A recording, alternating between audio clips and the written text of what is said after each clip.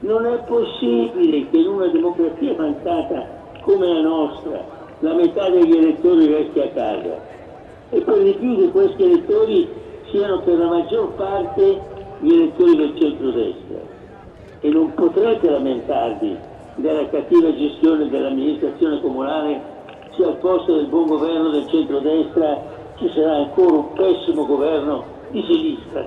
La colpa sarà vostra, solo vostra. Quindi andate a votare, andate a votare, andate a votare.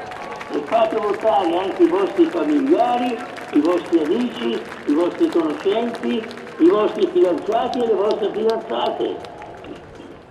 E se, non essendo andati a votare, avrete ancora la Roma di adesso, non potrete lamentarvi, ve la dovrete prendere solo con voi stessi, avete fatto il vostro dovere di elettori in una democrazia come la nostra.